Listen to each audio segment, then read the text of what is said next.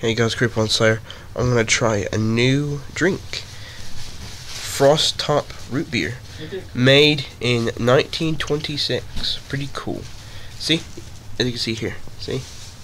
1926. Right. Pretty much it. Goodbye, and creep it out, and happy 4th of July, everybody. Well, happy 4th of July Eve. Alright. Bye-bye.